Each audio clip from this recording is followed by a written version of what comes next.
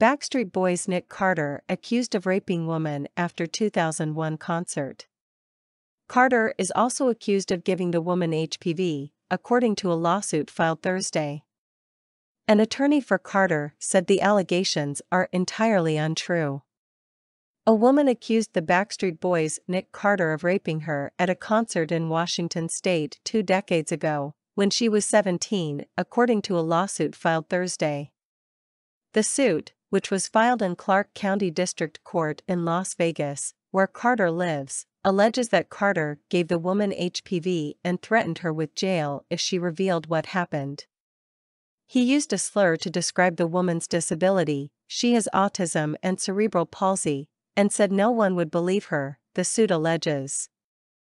He also said he'd turn people against me because he's Nick Carter and he would wreck my life, the woman is quoted as saying in a news release from her lawyer, Mark Boskovich. In a statement, Michael Holtz, an attorney for Carter, called the allegations legally meritless and entirely untrue.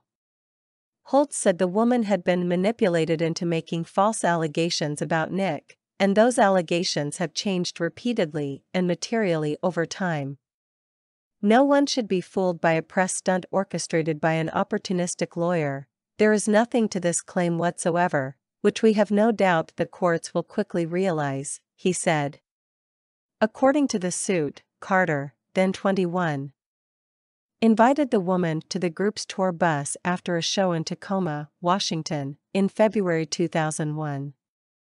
She said that after she joined him, he provided her with what appeared to be an alcoholic drink, according to the suit.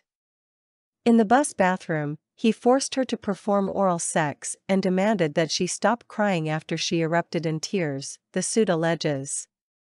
Carter raped her a second time on a bed near the back of the tour bus while she begged him to stop, the suit alleges. At the time, she was a virgin, according to the suit.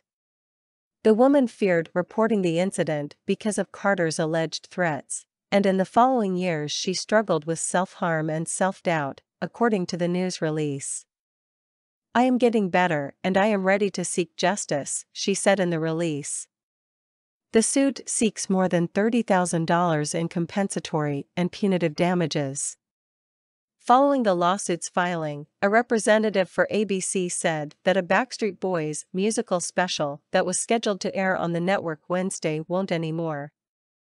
Comedy repeats will play in place of A Very Backstreet Holiday, the rep said.